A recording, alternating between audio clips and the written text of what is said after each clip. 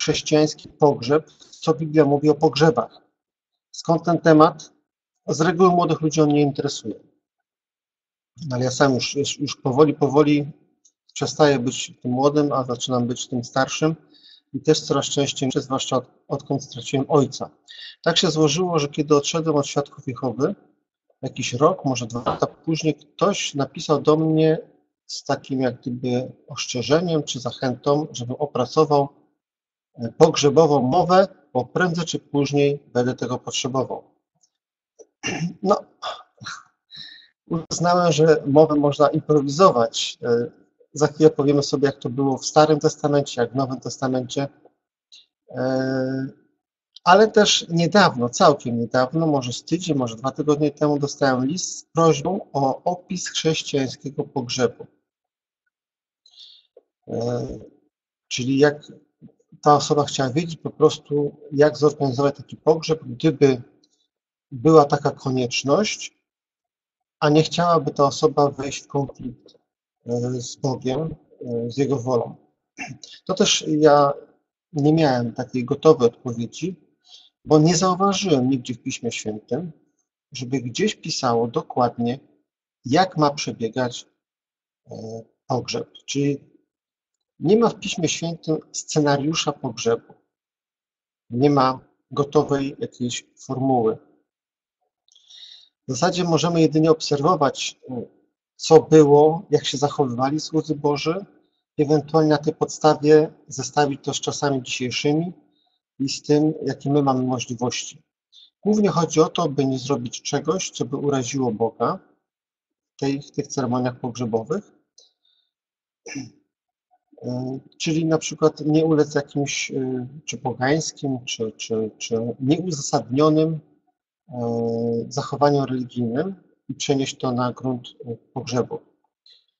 Definicję, właściwie na początek może taki nietypowy werset jak na pogrzeby. Łukasza 9 rozdział, werset 59 i 60. Do innego rzekł, pójdź za mną. Ten zaś odpowiedział, Panie, pozwól mi najpierw pójść i pogrzebać mojego ojca. Odparł mu, zostaw umarłym grzebanie ich umarłych, a ty idź i głoś Królestwo Boże.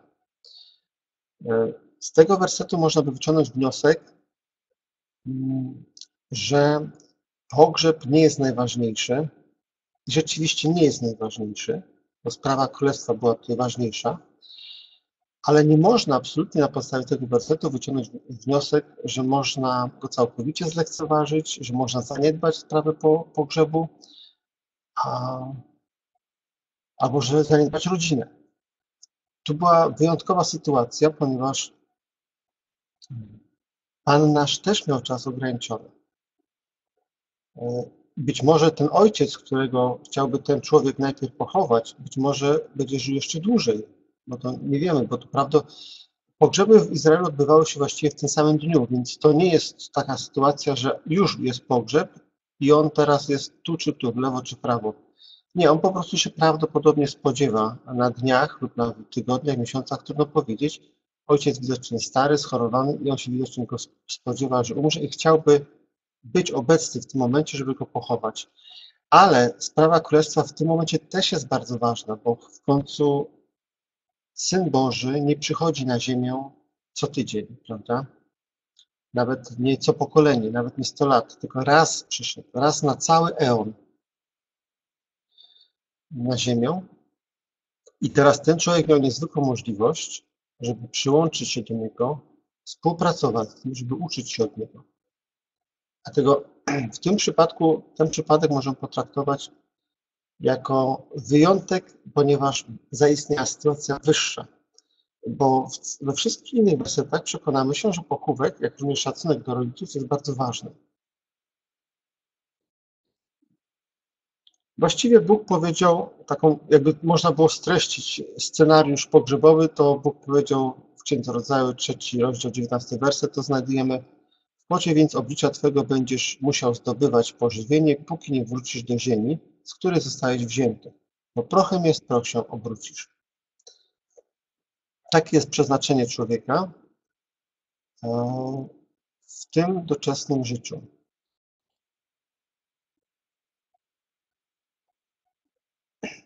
Ale e, jak się zachować, gdy zdarzy nam się pogrzeb? No niestety zdarza się czasami. Oby jak najrzadziej, ale zdarza się czasami. Ewangelia Jana, werset, rozdział 11, 33 do 36 wersetu, właściwie e, uzasadnia płacz i smutek. Bo sam Chrystus, sam Syn Boży, okazał smutek z powodu śmierci swojego przyjaciela, e, który przecież był człowiekiem dobrym, bo jest niemożliwe, żeby Pan nasz przyjaźnił się ze złym człowiekiem, który z pewnością może liczyć na e, zmart przyszłe zmartwychwstanie. Zresztą siostra, jedna z sióstr Łazarza mówi, że ona wie, że będzie przyszłe zmartwychwstanie. E, a mimo to Pan zapłakał. Po części uległ też y, sytuacji, bo, bo wszyscy płakali. Siostry płakały i tam pisze, wszyscy Judejczycy. Zresztą przeczytajmy sobie fragment. Gdy Jeszu ujrzał, jak płakała ona i Judejczycy, którzy razem z nią przyszli, wzruszył się w duchu, rozrzewnił i zapytał, gdzieście go położyli? Odpowiedzieli mu, panie, chodź zobacz. Jeszu zapłakał, a Judejczycy rzekli, oto jak go miłował. Widzimy więc, że nie ma nic złego e, w żalu po zmarłym, nawet w takim przypadku, jak tutaj Chrystus wiedział, że może go zmartwychwzbudzić.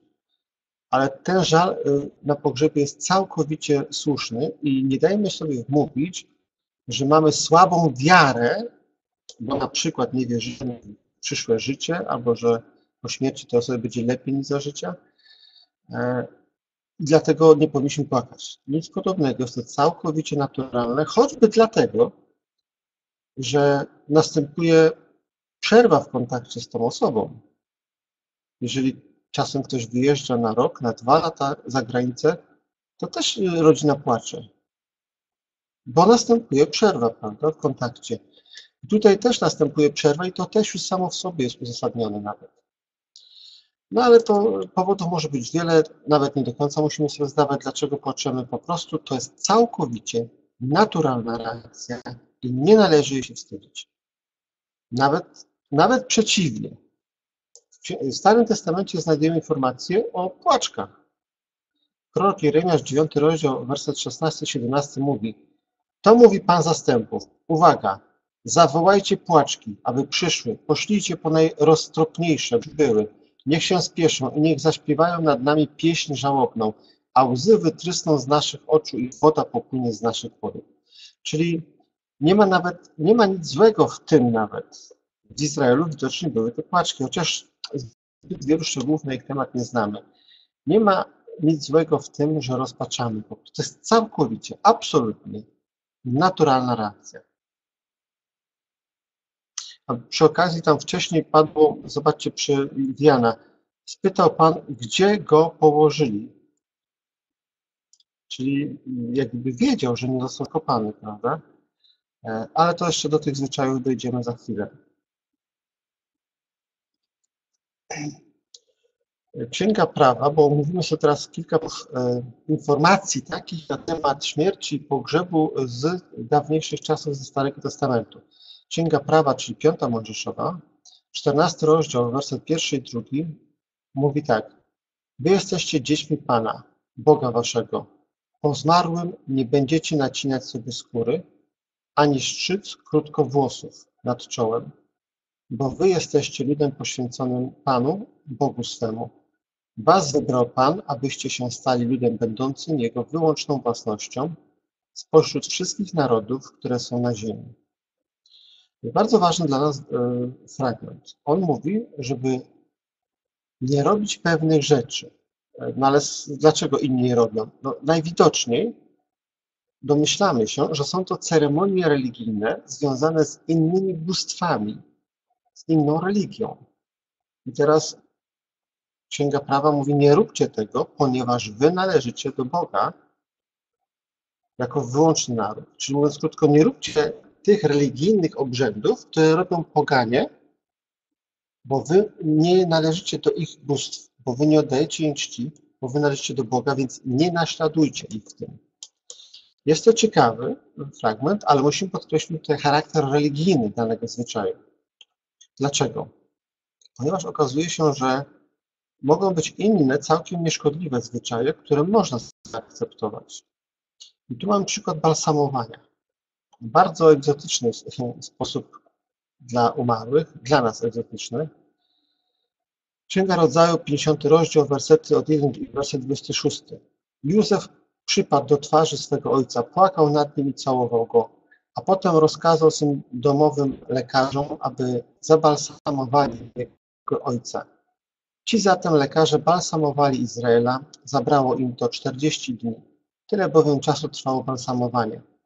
Mieszkańcy Egiptu opłakiwali Jakuba przez 70 dni, po czym umarł. E, Józef umarł mając 110 lat. Zabalsamowano go i złożono do trumny. Tak więc tutaj z pewnością wielu osobom balsamowanie się może skojarzyć e, z jakąś wiarą w życie pozagrobowe na przykład, bo tym e, faraonom to robiono, bo tam im różne przedmioty dawano do grobów pieniądze, jakieś przydatne, przydatne rzeczy dla ich wygody, rzekomo mieli z tego korzystać w światach. No i też ich starano się upiększyć. Ale jak widzimy, na pewno nie miało, nie można było też balsamować, odrywając to od, y, od y, ceremonii religijnej, nie łącząc tego.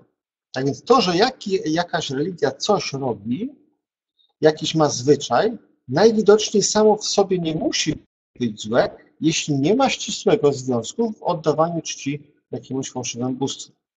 Na pewno jest tutaj pewna, pewna cienka linia, która, która wyznaczy nam nasze sumienie też. Co jest, a co nie jest takim zwyczajem hmm, ściśle religijnym. No podam taki przykład zwyczaju, którego nie udało mi się ustalić, skąd on się wziął. To jest zwyczaj polegający na tym, że obecni na cmentarzu biorą grudkę ziemi i wrzucają na grób. Na grób. Pewnie, pewnie spotkaliście się z jakimiś tłumaczeniami, a ja oficjalnego wyjaśnienia nie znalazłem, bo jakieś, bo jakieś legendy można sobie tworzyć zawsze. A okazuje się, że jest to zwyczaj, jak go widziałem u katolików, a jest to zwyczaj nie tylko, właściwie nawet nie wiem do końca czy katolicki, bo e, Żydzi uważają, że to jest ich zwyczaj, czyli w judaizmie, prawda? E, więc okazuje się, że znajdujemy taki dość sympatyczny, moim zdaniem, tak, nie widzę tu, nie widzę tu żadnego dawania czci żadnym bóstwom, e, e, ale mogę się mylić, jeżeli ktoś ma inną opinię, jeżeli ma inne informacje, to oczywiście powinien postępować z tym. Natomiast, natomiast właśnie jest takich parę rzeczy, parę zwyczajów, które nie muszą mieć ścisłego związku z jakąś formą kultu. Do takich rzeczy należy przynoszenie kwiatów między innymi na grób. Niektórzy mogą to łączyć z czymś tam, ale to najczęściej to jest po prostu taki sympatyczny gest pożegnania, tak samo jak wrzucenie tej grudki, moim zdaniem. E, czy też, czy też e, no jest to sposób na upiększenie tego grobu, żeby on taki nie był całkiem ku, piachu tylko. E, więc tu jest też kwestia, jeden z kolejnych zwyczajów, który absolutnie nie jest omówiony w Natomiast jest, y, jest czymś, co jest naszą kwestią naszego sumienia z pewnością. I teraz mamy więc przykład. Wcześniejszy slajd, wcześniejsza wypowiedź, zabraniało się robić pewne rzeczy, nawet na pozór niewinnych, jak obcinanie krótko grzywki. My nie wiemy, z czym to się wiązało dzisiaj, bo to było bardzo, bardzo dawno temu, ale to musiało mieć jakiś związek z fałszywym kultem, skoro było zabronione, a uzasadnieniem było, bo wy należycie do Boga jako wyłączny naród, czyli jakby nie macie z, z innymi bogami wspólnego, nie możecie, nie możecie służyć dwóm bogom. O. Natomiast balsamowanie najwidoczniej nie było takim, taką czynnością, no bo zrobili, zrobili to w stosunku do i Józefa, i Izraela, czyli Jakuba.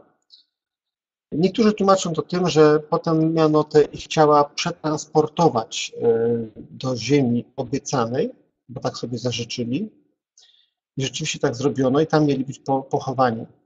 W tej ziemi w tym celu należało zabalsamować. No ale wszystkich balsamowano no, w, tym, w celu transportu. Jak mam być tak uczciwi, to były wyjątki te, te dwie osoby. Z pewnością Józef był osobą bogatą, e, którą było stać, miał fachowców, którzy od balsam, balsamowania, więc to zrobił. A z kolei, kiedy Józef umarł, no to jemu też zro, zrobił to faraon, czy, czy ktoś inny opłacił to.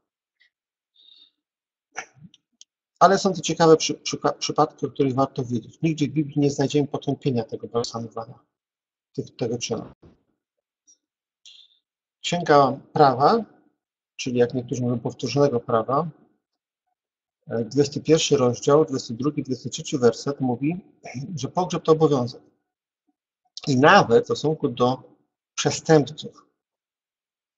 Czyli nawet jakby ktoś był taki, kim wszyscy gardzą, nikt nie chce mieć z nim nic wspólnego, to i tak należy go pochować.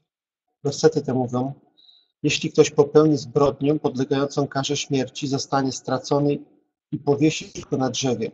Trup nie będzie wisiał na drzewie przez noc, lecz tegoż dnia musisz go pogrzebać, bo wiszący jest przeklęty przez Boga. Nie zanieczyścisz swojej ziemi danej ci przez Pana Boga Twego posiadania. Dlatego tam historie, jak świadkowie Jehowy opowiadali w pewnym momencie o wyrzucaniu trupów za mury Jeruzalem na, na śmietnik, no to oni sami się chyba z tego wycofują, bo nowsze ilustracje już, już nie ma tam. W starszych ilustracjach były czaszki, kości tam pokazane na ich rysunkach, w nowszych już tego nie ma, e, bo to po prostu było bez, e, nieprawdą. Taki problem nastąpił, owszem, e, że nie było komu grzebać ciał, ale dopiero w 70 roku, kiedy Jeruzalem było oblężone i wtedy rzeczywiście na sterty rzucano te ciała i wyrzucano przez mur, różnie kombinowano się pozbyć, bo miasto było oblężone po prostu. Nie było co z tym robić, trupów było bardzo dużo, ciał martwych. No ale to, to, to był wyjątek, natomiast nigdy wcześniej normalnie nie pozwolono nawet przestępcy, nie bezczeszczono jego ciała. Wręcz przeciwnie, bo na pewno słyszeliście o grobach powielanych. E, one były często przy drodze, kiedy po prostu znaleziono martwego człowieka, to go często nie było krewnych, nie było wiadomo, kim on jest, tylko pochowano go tam, gdzie go znaleziono, gdzieś przy drodze najczęściej. Należało wtedy tylko e, zaznaczyć ten grób, e, malując go, żeby ktoś przypadkiem czy nie usiadł na nim, czy chodził po nim i, w ten sposób się jakby stał nieczysty.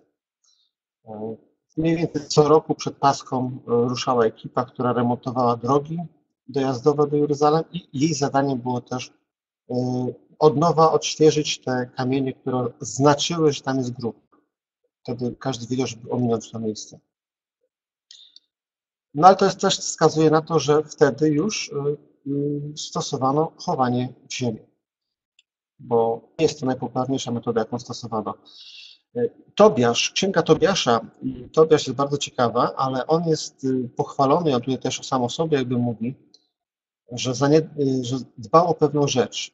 Y, Izrael, naród izraelski wtedy w niewoli i król, który wtedy miał tych Izraelitów, potrafił, zabijał niektórych, zostawiał ich po prostu na rzecz ptakom, zwierzętom, no, leżały sobie po prostu. I w Tobiasza, pierwszy rozdział, 17-18 werset czytamy. Dawałem mój chleb głodnym i ubranie nagim, a jeśli widziałem zwłoki któregoś z moich rodaków wyrzucone poza mury Niniwy, grzebałem je. I grzebałem także, jeśli, jeśli kiedy zabił Sennacherib, gdy po ucieczce powrócił z Judei, w dzień sądu, który wykonał na nim król nieba, za jego bluźnierstwa. W swoim gniewie pomordował on wielu synów Izraela. Ja zaś potajemnie zbierałem ich ciała i grzebałem je. Sennacherib zaś szukał ich, ale ich nie znalazł. No i z księgi Tobiasza dowiadujemy się potem, że sam Tobiasz też musiał się ukrywać, ponieważ właśnie za to Sennacherib chciał go zabić, bo ktoś mu doniósł, że to on e, jego wrogów po, po, pochował, pogrzebał. Tak więc to pokazuje, i to jest to zasługa Tobiasza, e, to pokazuje, jak ważną rzeczą jest, żeby nie pozwolić, by ciała się bezcześciły głównie przez zwierzęta, bo najczęściej zwierzęta wtedy e, się zjawiają, żeby po prostu nie gniły tak sobie e, swobodnie. I teraz przechodzimy. Powiedzieliśmy sobie, że grzebano też w ziemi. To był, grzebanie w ziemi nie było jednak najpopularniejsze. Już w Księdze Rodzaju 49 rozdział, werset 29 do 31 czytamy o grobowcach rodzinnych. Potem dał im taki rozkaz: Gdy ja zostanę przyłączony do moich przodków, pochowajcie mnie przy moich praojcach w pieczarze, która jest na polu Efrona, Hetyty, w pieczarze, która jest na polu Akpela w pobliżu Memre, w kraju Kanaan, którą kupił Abraham, wraz z tym polem od Efrona Hetyty, jako tytuł własności grobu. tam pochowano Abrahama, Sarę, jego żonę, tam pochowano Izaaka i jego żonę Rebekę, tam pochowałem Leję.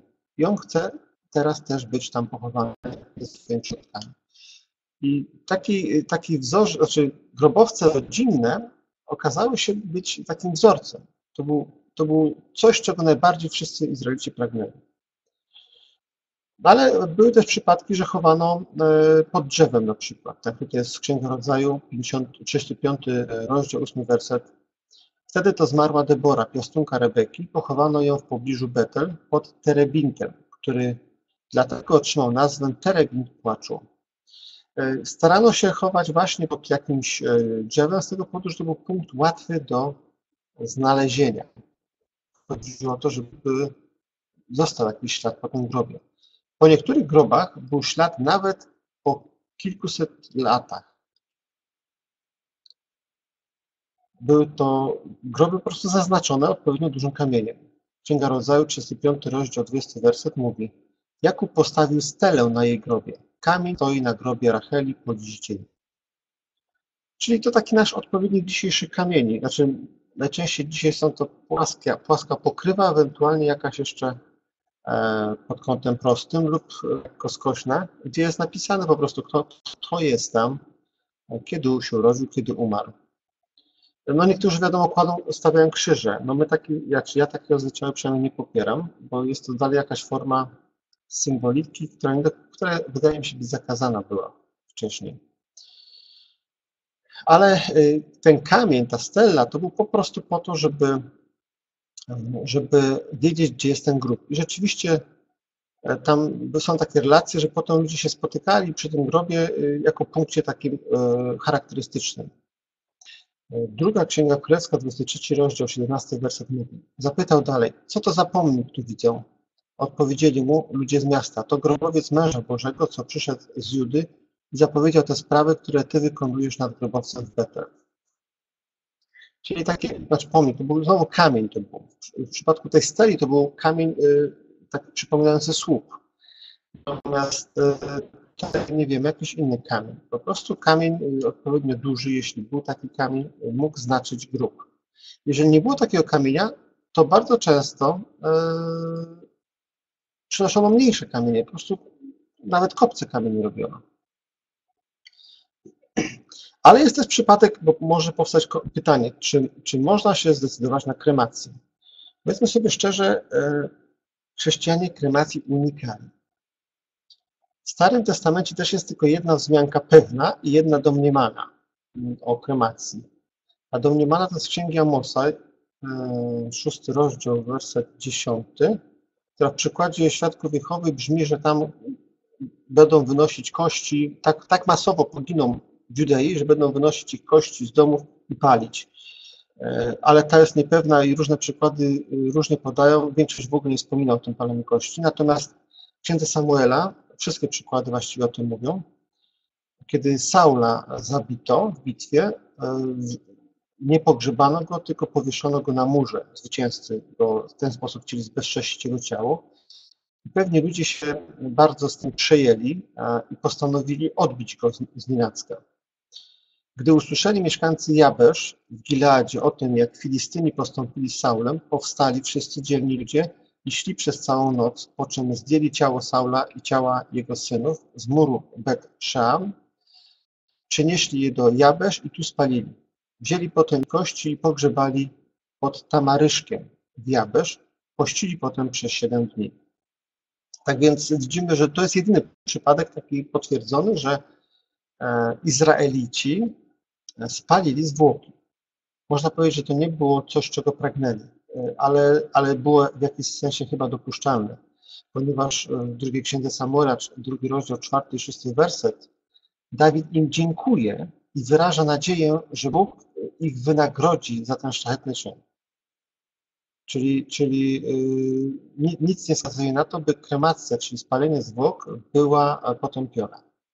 Ale jest to jedyny przypadek, ja osobiście nie, no, na przykład ja bym nie chciał być spalony, ponieważ zaskakuje mnie bardzo silne pragnienie wrogów e, Chrystusa, by palić naśladowców Chrystusa. Ponieważ ich palą, a Chrystus jest w stanie oczywiście ich i tak i tak zmartwychwzbudzić, więc to nie wyrządza im jakiejś krzywdy trwałej, ale skoro szatan chce koniecznie palić, to widocznie ma w tym jakąś cel i dlatego ja tak na wszelki wypadek wolę, e, wolę e, być normalnie, tradycyjnie pochowany. Ale gdyby ktoś koniecznie, znaczy rozważał taką możliwość, to rzeczywiście w Biblii trudno byłoby znaleźć potępienie kremacji. Chociaż potem późniejsze chrześcijaństwo odcinało się od pogaństwa, bo w pogaństwie tylko palili, na naszych terenach to przynajmniej palili e, i, i inaczej sobie nie wyobrażali, a, a tutaj akurat jest, e, no był jeden, jeden przypadek. I teraz tu jest ciekawa też rzecz, zwróćcie uwagę, spalili, ale potem zakopali. Prawo, prawo mm, e, polskie pozwala na kremację, ale e, nie pozwala trzymać w domu w Stanach Zjednoczonych.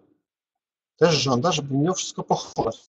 Nie pozwala pochować tych proroków u siebie w ogrodzie na przykład. Tylko trzeba to zrobić y, na cmentarzu. Tego doświad znaczy doświadczenia. Ktoś pytał pracowników firmy pogrzebowej, że ludzie po prostu odsypują część prochów i chowają na cmentarzu, resztę zabierają sobie, robią pogrzeb czy gdzieś. Bo, bo się filmów naoglądali i chcą to zabrać, prawda? E, po spaleniu zostało to zakopane pod tamaryszkiem, czyli chyba pod kolejnym drzewem. Ale jeszcze jeden szczegół, pościli potem przez 7 dni. Zobaczcie, to jest kontrast do stypy. Prawda? Stypa to zaraz po pogrzebie idą, jedzą, piją, a tu przeciwnie, poszczą. Druga księga Samuela, trzeci rozdział, werset od 31 do 35, to temat przemowy, czy na pogrzebach należy przemawiać. Rzekł więc Dawid do Joaba i do wszystkich towarzyszących mu ludzi. Porozdzierajcie swe szaty, nałóżcie wory podnieście lament wobec zwłok Abnera. Król Dawid postępował, postępował za marami. Mary to te nosze, na których noszono umarłego. Kiedy Abnera grzebano w Hebron, król głośno płakał nad grobem Abnera. Płakali też wszyscy ludzie. Król ułożył pieśń i zaśpiewał ją. Czemuż to umarł Abner tak, jak ginie nikczemny? Wszak ręce Twoje nie były spętane, ani nogi Twoje nie skute łańcuchem. Jak napadnięty przez złoczyńców umarłeś. Znów wzmogło się zawodzenie ludu. Gdy zaś zebrał się lud, usiłował wymusić na Dawidzie, by jeszcze za dnia spożył posiłek. Dawid jednak postanowił, niech mi to Bóg uczyni i tamto dorzuci, jeśli bym przed zachodem słońca skosztował chleba lub czegokolwiek. Mamy tu więc dwie sprawy. Rzeczywiście jest tutaj jakieś króciutkie przemówienie, a nawet recytacja, czyli śpiew pieśni, czyli król Dawid wcześniej musiał ułożyć tą pieśń, a potem ją zaśpiewać. Jest tu też, e, są tu elementy e, no, zawodzenia, e, płaczu, nawet rozdzierania szat i zachęta do tego, żeby też to robili, czyli zachęta do, do żalu. Właściwie to jest jeden, jest jeszcze jeden taki fragment, który mówi coś jakby krótką przemowę. W zasadzie nie ma w całej Biblii innych przykładów przemowy. Ale na tej podstawie można powiedzieć, że krótka, krótka przemowa nie jest niczym złym, niczym, nie jest niczym niestosownym. A być może nawet wskazanym, bo to raczej tutaj nikt Dawidowi tego nie zarzuca. Ale teraz druga sprawa. Znowu post. On nie 7 dni pości tutaj, ale przed zachodem słońca tak, jeśli bym przed zachodem słońca skosztował chleba. A więc przynajmniej kilka godzin będzie pościł. E, a, ale inni go namawiają, żeby zjadł. I teraz tak, skoro go namawiają, żeby zjadł, to znaczy, że nie ma nic złego w tym, że zje. On jednak e, w się często upatrywano oznak e, umartwiania siebie, okazywania żalu, smutku, więc widocznie uznał, że jeśli jadł, to jego jakby żal nie był szczery, coś w tym rodzaju.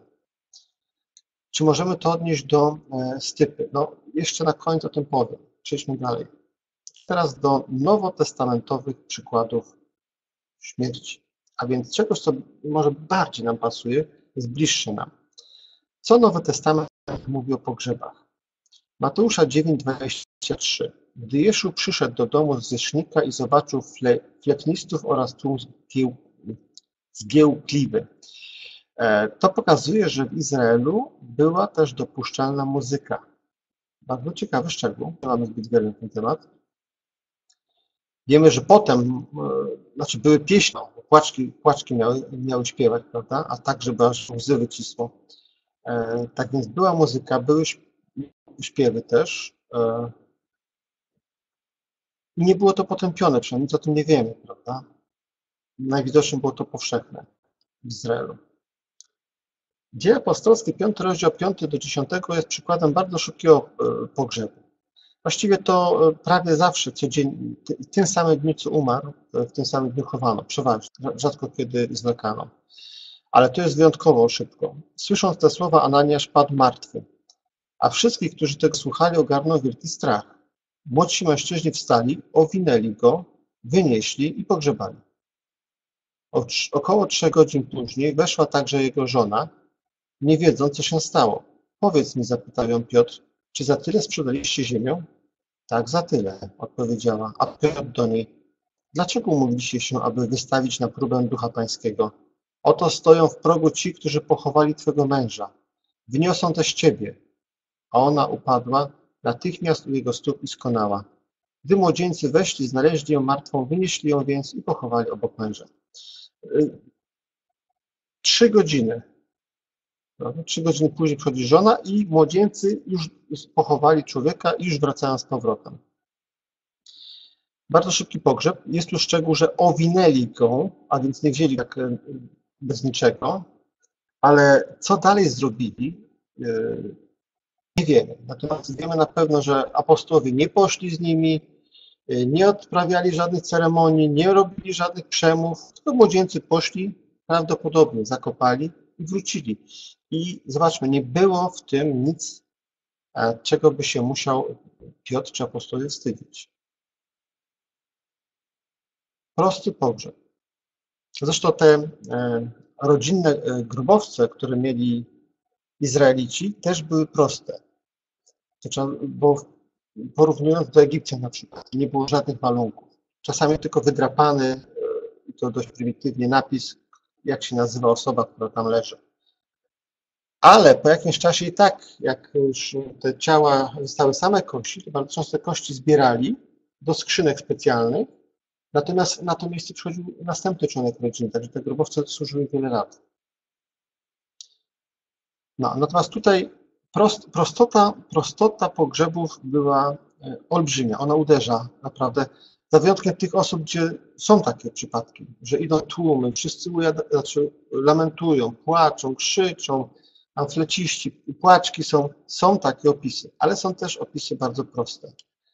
Y, wszystko to zależy od zaangażowania jakby rodziny i jej możliwości.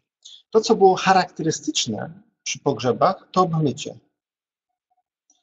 Tu mamy Dziełów Apostolskich, rozdział 37 werset. Wtedy właśnie zachorowała i umarła. Obmyto ją i położono w izbie na piętrze.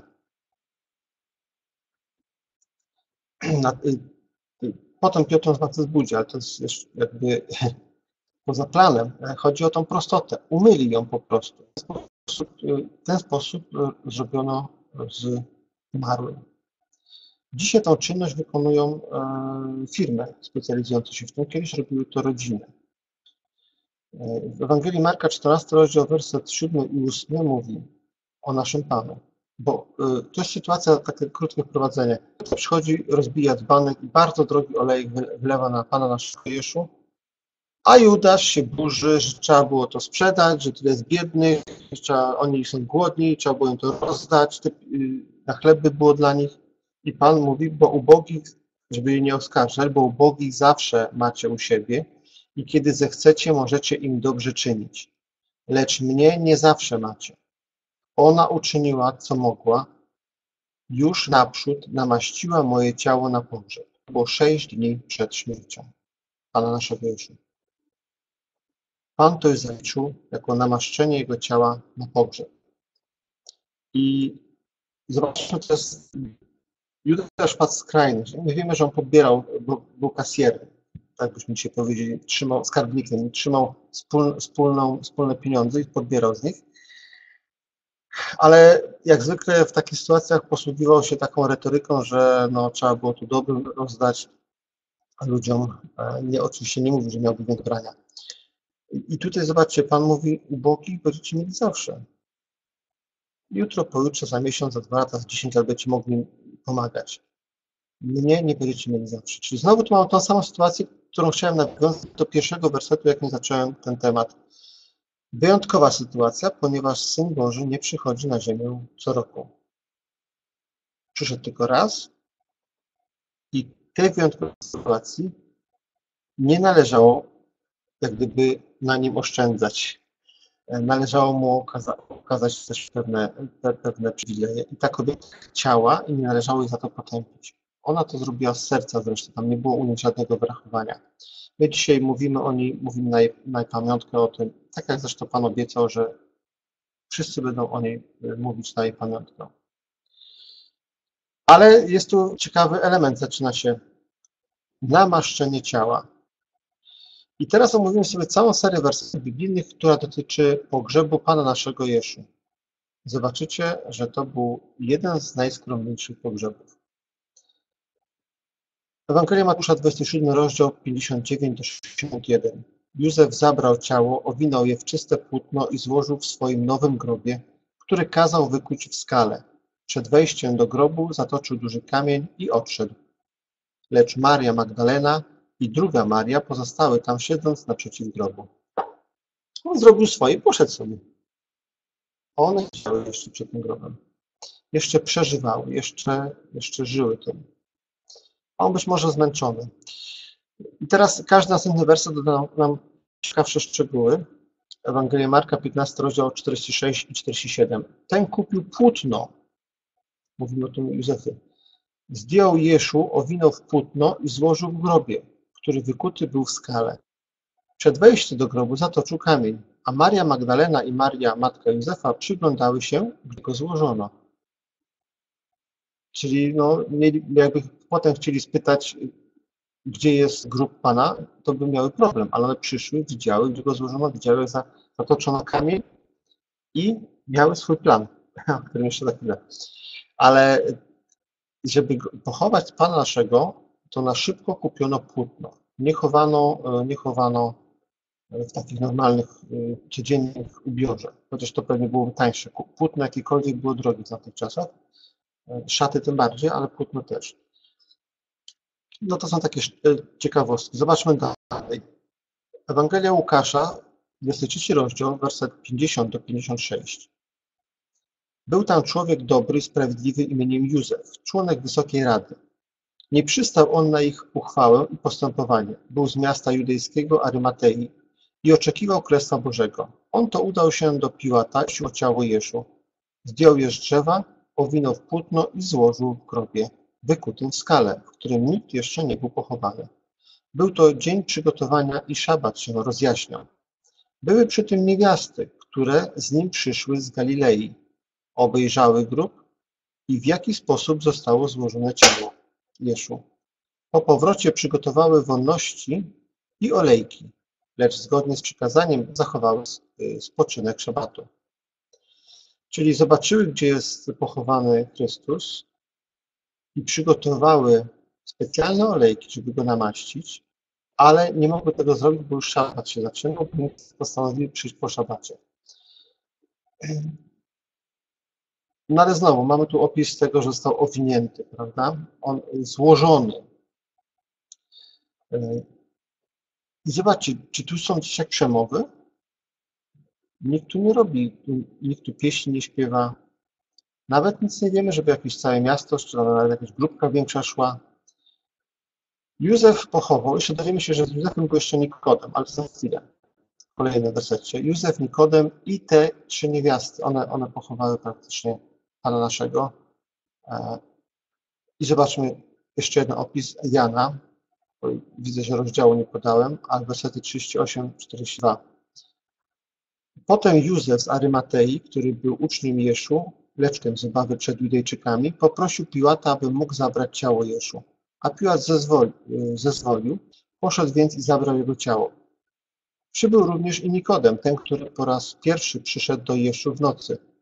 i przyniósł około 100 funtów mieszaniny, mirry i aloesu. Zabrali więc ciało Jeszu i obwiązali je w płótna razem z wonnościami, stosownie do judejskiego sposobu grzebania. A na miejscu, gdzie go ukrzyżowano, był ogród, w ogrodzie zaś nowy grób, w którym jeszcze nie złożono nikogo. Tam go więc ze względu na judejski dzień przygotowania złożono Jeszu, bo grób znajdował się w pobliżu. Cały czas widzimy pośpiech, pewnym pośpiechem to robią, ale zdążyli kupić płótna, y, Nikodem przyniósł balsamy y, i razem z płótnami, czyli prawdopodobnie te płótna zostały nasączone tymi balsamami i w ten sposób został owinięty. Wiązano każdą rękę oddzielnie, każdą nogę oddzielnie, na głowę kładziono oddzielną chustę.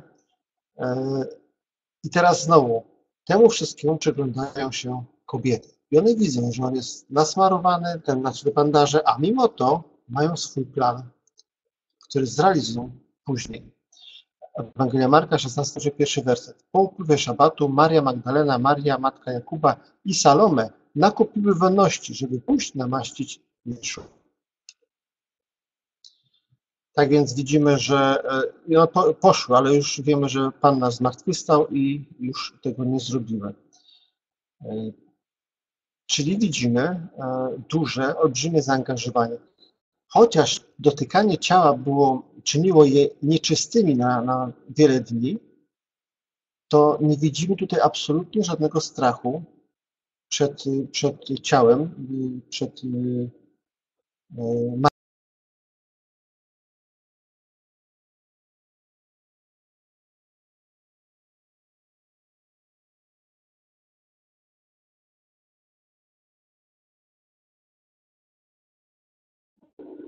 Chyba mi się wyłączył dźwięk i kamera, ale teraz mnie chyba słychać. Dochodzimy już do podsumowania. Dzisiejsza prezentacja była troszkę dłuższa, ale materiału naprawdę było dużo. Cały dzień go przygotowywałem. Podsumowanie jest takie. Płacz jest jak najbardziej czymś naturalnym, nawet jeśli jest bardzo silny. Muzyka nie jest niczym zabronionym, może być przydatna. Przemowa także jest dopuszczalna. Pytanie brzmi, jaka przemowa? No, wiemy, że na przykład niektóre organizacje religijne to y, traktują e, pogrzeb jako okazję do głoszenia. Na przykład Świadkowie Jehowy. Y, y, ja, no, mój ojciec na przykład w 2003 roku zmarł mój ojciec. On nie był nigdy Świadkiem Jehowy.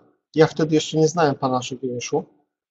Oficjalnie byłem jeszcze Świadkiem Jehowy, chociaż od trzech lat już nie chodziłem na wybrania. Ale kiedy zmarł mój ojciec, który był katolikiem, rodzina przyjechała też katolicka, a mimo to kościół, y, kościół katolicki odmówił pogrzebania go, to ma, mała miejscowość była, no to wtedy zwróciłem się do nadzorcy, byłego nadzorcy okręgu z pytaniem, czy by nie powiedział przemówienia. I on rzeczywiście powiedział. I teraz ciekawa rzecz. Powiedział przemówienie, był na, na pogrzebie, poprowadził pogrzeb człowieka, który nigdy nie był świadkiem Jehowy.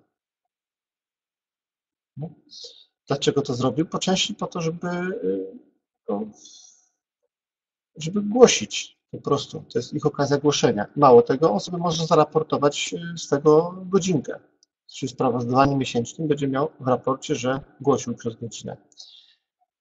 Tak więc no, robią takie rzeczy. I robią to w celach swoich, prywatnych. On oczywiście nie znał mego ojca. E, Teraz, żeby nie, niekoniecznie skazane byłoby coś takiego, żeby robić z tego reklamę swoich poglądów. Aczkolwiek warto powiedzieć o nadziei, krótko przynajmniej, o nadziei, którą miał umarły, jeśli rzeczywiście ją miał. Prawda?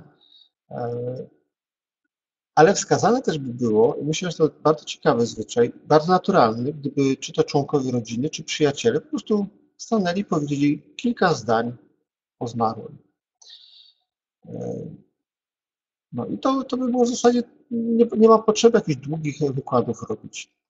Natomiast, natomiast nie ma też zakazu robić takich rzeczy, prawda? Natomiast e, muzyka. Ja tutaj w przypadku ojca zastosowałem coś takiego, że zaprosiłem po prostu trębacza. I uważam, to był genialny pomysł, No wtedy on, on, wiadomo, on zagrał chyba dwie czy trzy pieśni ze śpiewnika Świadków Jehowy. Zagrał, bo tam słów oczywiście nie było, e, ale zagrał też ciszę. To jest pięknym, pięknym utworem, takim można powiedzieć, no, kojarzącym się właśnie z pogrzebem, bardzo smutnym takim. To mi się też kojarzy z tymi fletnistami z Nowego Testamentu, czy tam płaczkami w wcześniejszym momencie. W momencie, kiedy trumnę opuszczano, to utwór Gen na trąbce wyszedł naprawdę pięknie. Ale to znowu jest kwestia sumienia. Widzimy, że y, Pismo Święte nie neguje tego, nie potępia, ani też nie mówi, że tak ma być. Po prostu każdy sobie organizuje pogrzeb według własnych możliwości, e, według tego, jak przeżywa, czego pragnie. Ale we wszystkim tym, co w takim podsumowaniu możemy powiedzieć, to zawsze przebijało we wszystkich tych e, pochówkach ze Starego Testamentu i z Nowego Testamentu, no może za wyjątkiem tej, tej, tego Ananiasza jego żony, to wszędzie gdzie indziej przebijał wielki szacunek do umarłego, także do e, jego ciała. W przypadku Pana naszego Jeszu, no to już jest daleko posunięty e, szacunek, kiedy e, kobiety decydują się po trzech dniach namaścić ciało olejkami. Nie? To jest z ich strony pewne poświęcenie i ich służba dla Pana naszego. Niektórzy twierdzą, że to był swego rodzaju balsamowanie, ale oczywiście kompletnie nie mając nic wspólnego z tym prawdziwym balsamowaniem. Przepraszam. To tyle, jeśli chodzi o zwyczaje e, pogrzebowe, jakie udało mi się odnaleźć e, w Starym i Nowym Testamencie.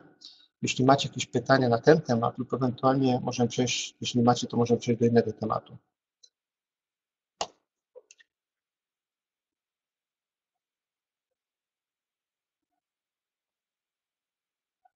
Także teraz czekam na Wasze zdanie.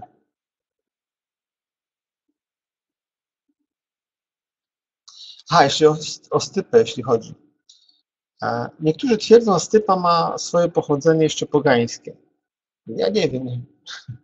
Powiem szczerze, widzę w tym dużo. E, stypa jest czymś, moim zdaniem, czymś bardzo rozsądnym, ponieważ bardzo często na pogrzeb przyjeżdżają krewni z daleka, czasem nawet z zagranicy, nie zawsze jesteśmy w stanie przenocować. Oni też nie zawsze mają ochotę y, zostać na dłużej, albo nie mogą zostać.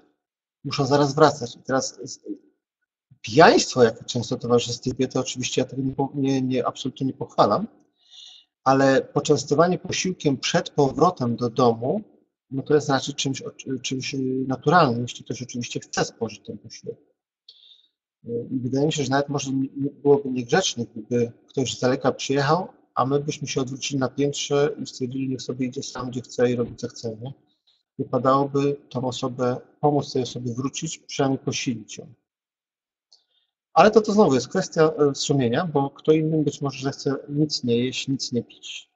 Za jakiś czas, tak jak Dawid do zachodu słońca, albo tak niektórzy pościli przez 7 dni. To są ciągle sprawy indywidualne. Nie można nikomu narzucić, ponieważ Biblia nie podaje żadnych takich reguł, które można by komuś narzucić. Także jest kwestia naszego zrozumienia, naszego wyczucia.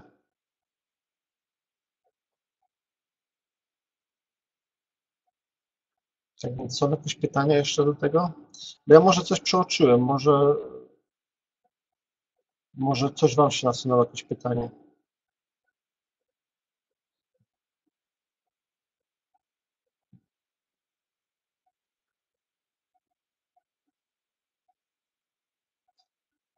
Kasia i Krzyś piszą: Trzeba tylko pamiętać, że Cyganie mają silną tradycję stypy na grobie zmarłego. No, no właśnie, tu znowu jest kwestia, z czego to wynika, prawda? Czy to wynika z jakichś e, zabobonów? E, czy nie wiem z czego? No, właściwie to nie znam ich tych tradycji. Antoni, palono najczęściej przeciwników bożych. Tak, no palenie na stosach jest charakterystyczne. Zresztą e, w Izraelu też karą było spalenie. E, rzadko stosowaną do naprawdę wyjątkowych przestępstw, ale były takie przestępstwa. Jeśli córka arcykapłana okazała się nierządnicą, to na przykład ją palono. Przynajmniej tak, taki opis znajdziemy w księdze prawa. Czyli to było taka najwyższy wymiar kary i on się wiązał z takim symbolem unicestwienia rzeczywiście. Uważano, że takie osoby, to świat po nich powinien zaginąć. Wtedy ich palono. Ale no tutaj mamy ten jeden taki przypadek dziwny troszeczkę, gdzie, gdzie spalono ciało Saula. Myślę, wydaje, że jeden, jeden przypadek to jest za mało, żeby powiedzieć, że to było coś popularnego. Mam takie wrażenie, że palenie to było coś yy, w ostateczności, na przykład gdy yy, była masowo duża ilość yy, poległych. Wtedy, wtedy nikt nie był w stanie nad tym zapanować, nikt nie był w stanie tego ogarnąć, nikt nie był w stanie zrobić tych masowych grobów, bo nawet zabrakłoby miejsca do, do chowania ludzi. I wtedy być może palono ludzi, ale też te szczątki potem e, zakopywano. Wtedy to było raczej uzasadnione nawet. Chociaż Biblia opisuje też takie przypadki, że na przykład po, e, po wielkiej bitwie, gdzie, gdzie wszyscy polegną, prawie cała ziemia polegnie, E, przez 7 lat mają chodzić młodzieńcy i zbierać kości. Jak znajdą jakąś kość, mają ją zakopywać. Czyli no jest, jest zawsze, zawsze będzie ten takie nastawienie, że e, wszelkie szczątki zmarłego należy pogrzebać, pochować. Nawet jak nie wiemy, czyje to są, czyje to są kości, wiemy, że to są ludzkie kości, z tym należy pochować. Kasia i Krzyś. Z tego, co słyszałam, to dlatego, żeby okazać radość, że idzie do nieba i żeby podkreślić, że jest nadal żywy i symbolicznie spożywa z nimi posiłek. No właśnie, no, no, tłumaczenia mogą być różne. Podejrzewam, że sami Cyganie nie do końca wiedzą, po prostu mają chyba taki zwyczaj. E, ale mi się to kojarzy też e, troszeczkę z wudu brazylijskim. I tam też daje się, tam tańczą, śpiewają na pogrzebie bawią się, tam też leją alkohol na, na, na, na groby. Niektórzy stawiają jedzenie na grobach zresztą. E, Zbyszek 1. Czyli stosowny będzie napis, że umarł z nadzieją na zmartwychwstanie? Jak najbardziej, jeżeli, jeżeli miał taką nadzieję. Czyli wierzył w to i, i, i, i no bo jakby nie wierzył w to, no to, no to wtedy nie, ale jak jeżeli wierzył, jak najbardziej. Stanisław, czy kremacja jest pogańskim zwyczajem? No niby tak. Y, y, bardzo długo nie pozwalał na kremację. Chyba od lat 60. tego XX y, wieku zezwolił i to jeszcze Kościół katolicki. Zawsze wcześniej uważał, że jest to pogański zwyczaj. Nie wiem dlaczego. Być może dlatego, że na tych ziemiach akurat tak było. Ale, ale od lat 60. wolno zezwalają na kremację pod warunkiem, i to jest Kościół, Kościół to uznaje, pod warunkiem, że nie jest to z przyczyn religijnych. O, taki warunek. Czyli, że nie jest to, e, czyli jeśli by, czyli to, to podobnie jak ja mówię o stypie czy jakichś innych rzeczach, prawda, tej grudce ziemi. Jeśli nie, nie wynika to z przyczyn religijnych, e, z jakiejś religii, z kultur religii, no, no, to, no to tylko wynika z jakichś innych potrzeb, to może być to uzasadnione. Ponieważ ten jeden przypadek, jak ja powiedziałem, była kremacja Saula. Saul nie był wierny Bogu. Wiemy, wiemy że nie wierny Bogu. Ale mimo to Izraelici nie pozwolili bezcześcić go, wieszając jego ciało na, na murach. Poszli, porwali to ciało, spalili szczątki i zakopali je w ziemi. I ten jeden przykład, przykład, przykład, kiedy Dawid się ucieszył, że oni to zrobili, w sensie, w sensie takim właśnie, że nie pozwolili go bezcześcić. Taki był sens tego. I wyrażał opinię, że ma nadzieję, iż Bóg ich wynagrodzi za to, za dobry uczynek, no to z tego by wynikało, że Izraelici nie uważali spalenia zwłok za coś, za coś takiego strasznego jakiegoś. Ale znowu, znowu mówimy, zależy z jakiego powodu. Jeśli jest to obrzęd, na przykład jak w hinduizmie, że hindu, dla hinduistów to jest to rytuał jak gdyby religijny, no to, no to wtedy, no to jak jest to rytuał religijny, takie są motywacje, to wtedy jest to nieuzasadnione. Natomiast jeśli ktoś z innych powodów podejmie taką decyzję, to jest to jego chyba prywatna sprawa. Nie mamy w Biblii nigdzie wzmianki, żeby to było potępione. Kasia i Krzyś piszą, Rzymianie spożywali posiłki ze zmarłymi. Pod Rzymem są ogromne katakumby, w których składano niepogrzebane zwłoki i co roku przychodzono jedząc posiłek przy rozkładających się zwłokach. Okropny zwyczaj. Niewyobrażalny odór rozkładających się zwłok. Jak można przy tym jeść? No tak. Znaczy powiem więcej. Najgorszą rzeczą e, w Izraelu to było zostawić zwłoki na pożarcie zwierzęciom. Bóg tak skonstruował świat, że ptaki służą temu, żeby oczyszczać e, takie na przykład pole po bitwie i wiemy, że po wielkim dniu Boga Wszechmogącego ptaki też będą oczyszczać ziemię. Ale wyobraźcie sobie, są takie religie jak w Tybecie. Wszyscy zachwycają się tym wspaniałym Dalaj Lamą, prawda? A oni mają tam taki zwyczaj, że oni sami karmią swoimi zmarłymi. Widziałem film, gdzie, gdzie nie wiem, czy to był kapłan, czy to kto to był, nie wiem, jak kapłani, ale chyba pewnie tak. Chodził i odcinał kawałek mięsa z, z, z umarłych. E, to, nie wiem, to wyglądało makabrycznie, oddzielał to od kości, nie? Także no, są, są e, i tego nam nie powiedzą o Tybecie. To się nie, tam jest taka kultura rzekomo, takie uduchowienie wspaniałe, nie? A że, a że tam e, no, taki mają zwyczaj, się nie, niezbyt, dla nich to jest normalne, może dla nas nie. Tak samo jak są, są rejony, yy, chyba w Afryce to było, gdzie po prostu pali się yy, zmarłego, a następnie prochy daje do sobie do jedzenia. Oni uważają, że w ten sposób to, tak nie, to jest taki nie jest bezpośredni kanibalizm, bo dopiero prochy sobie wsypują do zupki czy tam do czegoś, a nie jedzą mięsa, no ale to też jest jakaś tam forma taka, oni, i oni uważają, że oddać e, ciało krewnego robakom jest obrzydliwością, jest zbezczeszczeniem, bo to robaki zjedzą z kolei, nie? A oni są ci szlachetniejsi, którzy zjadają, biorą swoich przodków ze sobą. Tak więc co kraj, to obyczaj. E, no my jesteśmy wychowani w, w, w tym mniej więcej, co mówi Pismo Święte, bo i, i staramy się tego trzymać. Czytałem książkę kiedyś, bardzo grube to nisko, Jota Unum chyba to było, coś takiego. To był jakiś, jakiś autor, który pod anonimem ujawniał masońskie dążenia, do czego masoni dążą. Tam jeden z ideałów był taki, żeby właśnie ludźmi karmić zwierzęta. Dokładnie to, co Biblia mówi, żeby tego nie robić. Nie? I teraz to też od nich szły, szły kremacja, jakby idzie też z tamtej strony, żeby ludzi palić. To też była ich, ich propozycja. No i to, to są takie, skoro coś idzie od nich, to ja wolę tego, ja wolę na odwrót niż oni. A Biblia akurat rzeczywiście przedstawia nam sytuację, kiedy jest taki król, któremu powiedziano, że przeznaczony jest pogrzeb osła. Na czym to miał polegać pogrzeb osła? Na tym, że miano ciągnąć jego zwłoki i porzucić na, pas, na pastwę, po prostu zostawić je. No, czytałem, e, czytałem e, opis e, prześladowań chrześcijan w Palestynie w starożytności. To jedna z kar, jaką Rzymianie zrobili, to było porzucić trupy chrześcijan, żeby psy jadły. Nie wolno było ich właśnie zebrać, tak jak, tak jak Tobiasz to miał w Niniwie, prawda?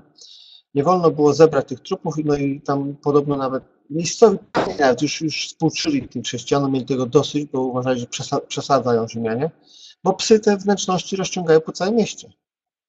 Także to było dość takie, no ale jak widać, szatan w swojej złości no, posuwa się bardzo daleko czasami.